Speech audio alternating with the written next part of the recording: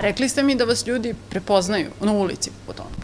Da, ili me prepoznaju ili desilo mi se da traže autogram e, i onda pitam pa kako ste me, pre... još i zima bila, pa kaže po glasu. Gla, po glasu, a i e,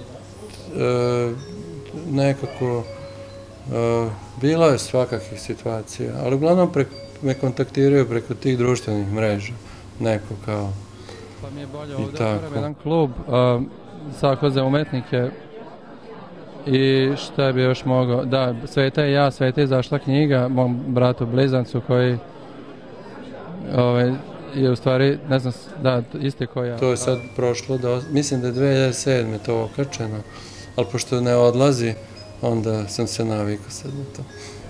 A kad kažete svakakvih situacija, nije valjda bilo nekih ružnih? Pa nije bilo, osim što misle svi da sam drogiran bio i tako nešto kao, ali nisam se drogirao nikada, mislim, probao sam, a tad nisam, mislim. A, što rekao Clinton, nisam uvukao. Uzao sam, ali nisam uvukao. Ili ono kao, neko kaže, bio sam u prostoriji, pa jako se duvalo, pa sam onda i ja. Ali mislim, možda sam prirodno naduvan. Ili, ne znam. Nisam ovaj, ne, ne, ne, ili sam bio primoran da, da, da, da želim te alternativne drugo stanja svesti pre nego što je to bilo dostupno, pa sam možda bio primoran da nađem neke druge ovaj, na, vidove dolaženja do tih izmenjenih stanja svesti, a ne nekom substancom. A i umetnici moraju sebe da dovedu do takve da bi mogli da bude rad i ole kreativan. Pošto u, a, i ovo stanje svesti je površnije onako i potrebno je jel da, da ideš iz stanja svesti u stanje svesti, ali da bi i ole nešto neobičnije uradio, tu mora da se mešaju ta, razne svetovi. Ja sam imala utisak kroz taj intervju da ste vi možda malo bili i rezignirani zbog činjenice da ste izlagali po raznim mestima, da vas niko nije zvao u gradu iz kojeg ste vi, koji je vaš rodom. I onda možda ste i zbog toga tako odreagovali, ne znam. Pa ja mislim da sam imao utisak e, od tih silnih intervjua koje sam tih godina dao, 40, da nemam nikakve koristi od toga.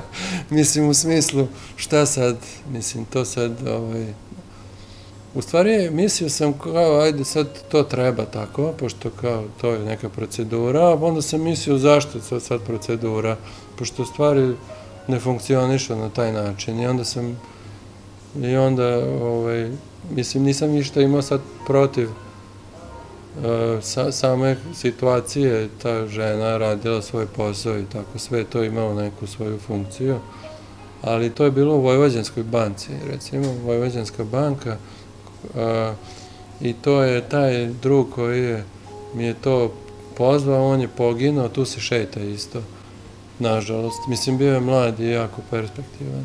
To mi je bilo žao jako. Onda, a portret koji se vidi iza je jedan manje uspelih. Mislim, to mi je dobar drug što sam ga naslikao, ali manje uspeo portret. To je sve tako neka čudna kombinacija bila. Sad to ljudi mene znaju po tome, a to je tako neki ovaj, trenutak, mislim, bio takav. Mislim, bilo je tih puno intervjua i još mnogo radikalnijih, ali to nisu preživjeli, tako da mogu ja sad da nešto kažem o tome, ali nema, nemam dokaza. Možda sam trebao nešto doneti kao dokaz. Ljudi sad svašta pričaju bez dokaza. A i sad nema veže, sad s, pošto svi lažu non stop i svi mediji su prepuni a, potpuno neverovatnih laži, onda to sad više postalo drugačije sve. Pa tako i vi možete da kažete bilo šta. Da, da. Nema dokaza. A nema dokaza ni za ni protiv, tako da je opravdano. Okay. Da, onda bi mogla da kažem da, da sam u stvari ja nešto, nešto uradio. Ali ne, ne mogu ja tako baš. Mislim, Možda da nisam ja dao taj intervju, nego moj brat u stvari. Kad smo kod toga, jeste vi Sveta ili Mileta? da, ja sam valjda sam sad Mileta. Definitivno, konačno. Mada. Malo. ne znam. Ne znam se. Da. Dobro. A ono što je bilo neobično još za taj intervju je da ste vi otvoreno rekli svoju adresu stanovanja. I sad mene zanima koji je bio motiv za to i da li su vam zbog toga ljudi dolazili, zvonili na interfon, ne znam šta sve može da se desi kad ljudi znaju gde živite. Da, to, to je posle bio onaj skeč ili pre toga je bio skeč sa Đu, Brankom Đuri, ovim Đurom iz nadrealista kad kaže svoju adresu. Ali ja nisam, posle sam to video. A, ženička čet... sad se nalazimo na toj adresi, tu je kafić i izba koji je umeđu vremenu postao, ovaj, mislim, tad je se nije znalo, ima sad, ja sam taj logo dizajnirao.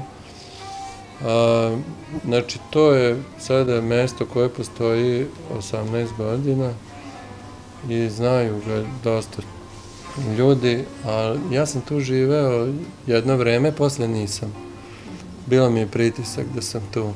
Jer tako dođu ljudi, ja sam sad već ono se, što se kaže, razgaćio i, obuku pižamu i sad kao, e, ja sam došao neki na pivo, aj iđi. Mislim, to niko nije ovaj, baš voleo, tako da... Šta, nepoznati ljudi dođu? Pa ne nepoznati, neko koga nisam vidio, neko koga znamo, kao ima moj telefon.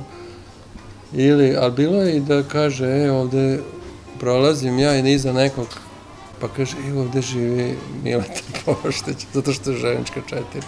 Ali dugo ne živim tu, tako da sad je to ispalo možda i reklama za ovo mesto, koje, koje je umeđu vremenu imalo jedno najmanje hiljadu umetničkih dešavanja, šta koncerata, ima i, i knjiga je objavljena u tome.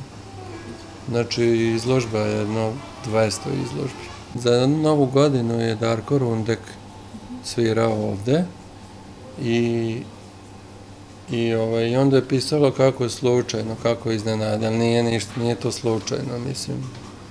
Ovaj, naravno da nije slučajno. Mada imali smo, ovaj, pošto tu isto ima jedna romska porodica koja živi, oni su imali nekog naročito agresivnog psa tada, koji se zove Rex, i onda je ta ovaj, Izabela išla da, pošto je bila gužva u WC-u, iza ćoška da kao mokri, ne znam sad kako, ali je Rex ugrizao za dupe.